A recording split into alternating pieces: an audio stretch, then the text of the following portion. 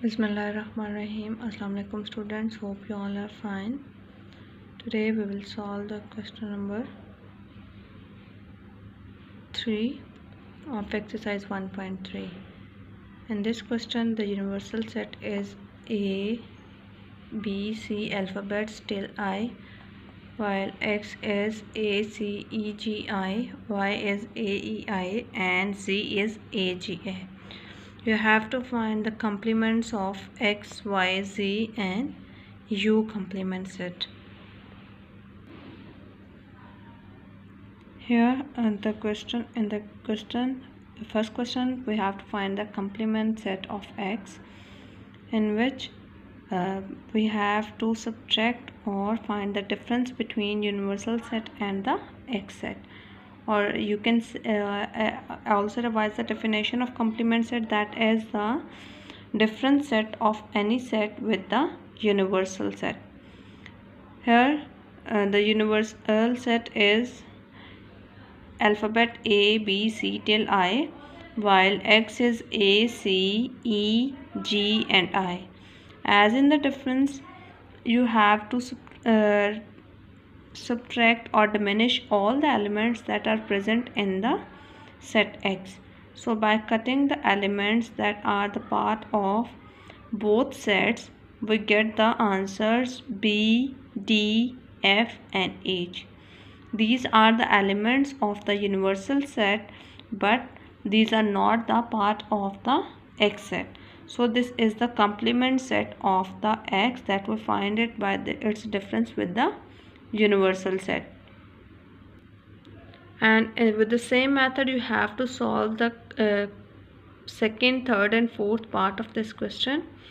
I'll also send you the solved for uh, pictures of these questions. In the question number 4 the universal set is the set of natural numbers till 20 1 to 20 and a is the set of numbers 1 3 5 till 19 set of prime numbers while b is the set of even numbers till 20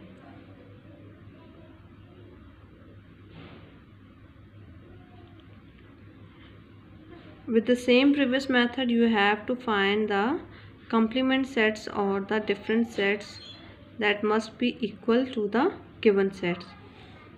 In the first one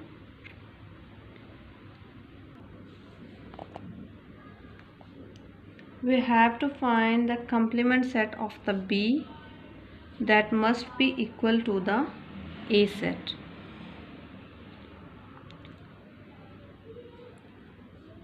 As the universal set is uh, the natural numbers till 20, 1 to 20 and then by finding the difference with uh, B set that is the prime numbers 1, 3, 5 and 19.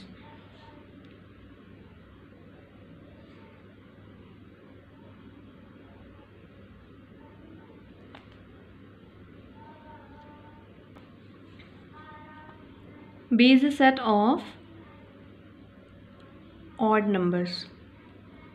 Hence, by finding the difference, we can find that uh, the complement set is 2, 4, 6, 8, 10, 12, 14, 16, 18 and 20. That is also equal to the set A as given in the question. Hence, it is proved that complement of B, complement set of the B is equal to the set A. Students, your homework is to solve the question number 3 and 4.